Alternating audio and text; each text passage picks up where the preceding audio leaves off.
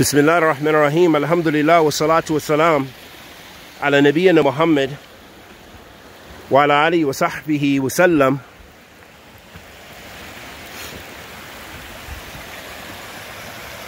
أما بعد أحبتي في الله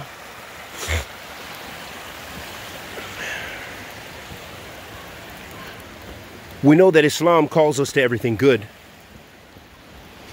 And Islam offers such simplistic formulas for worshiping Allah subhanahu wa ta'ala by adhering to the book and the sunnah.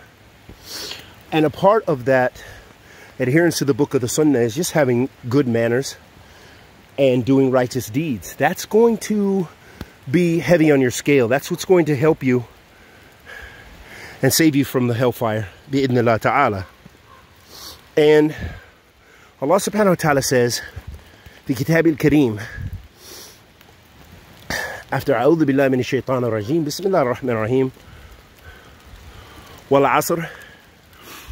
إن الإنسان لفي خسر إلا الذين آمنوا وعملوا الصالحات وتواصوا بالحق وتواصوا بالصبر. subhanahu wa ta'ala says في كتاب الكريم والعصر. So Allah wa ta'ala swears by the time.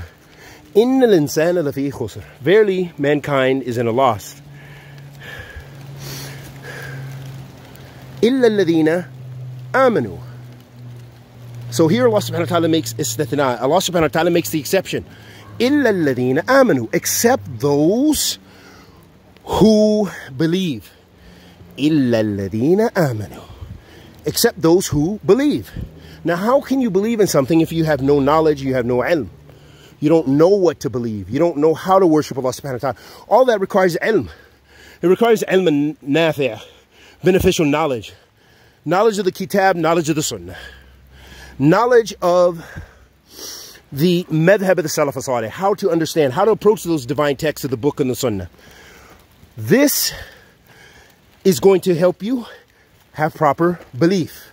إِلَّا الَّذِينَ آمَنُوا وَعَمَلُوا الصَّالِحَاتِ And those who, and, and do righteous deeds. So that means not only are you required to to believe in Allah subhanahu wa ta'ala,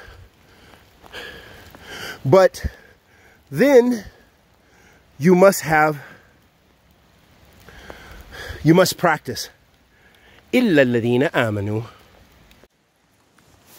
إِلَّا الَّذِينَ آمَنُوا So Allah subhanahu wa ta'ala says, except those who believe, meaning that everybody in mankind is in a loss except those who believe. إِلَّا الَّذِينَ آمَنُوا وَعَمَلُوا صَالِحَاتِ And do righteous deeds.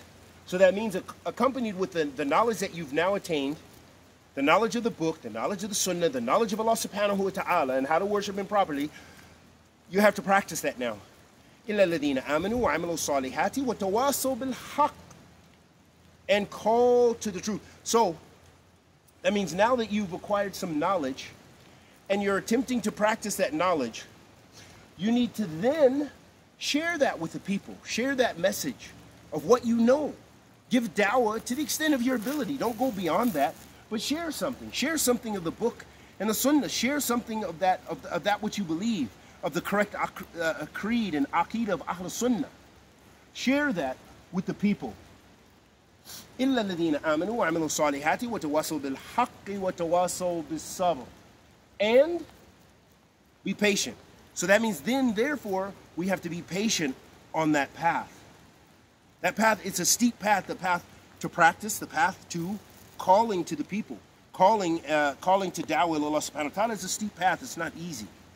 It's not easy to practice even, you know, because there's so many things to distract you. There's so many things to misguide you. There's so many ways to intervene and to cause you harm and distract you. And so we ask Allah the Almighty to accept our good and forgive our evil and bless us with ikhlas, with thabat, Forgive us of our many sins and our many shortcomings. Protect us from kufr, shirk, and nifaq, and bid'ah. Wa sallallahu wa sallam ala nabiyyina Muhammad wa ala alihi wa sahbihi wa sallam.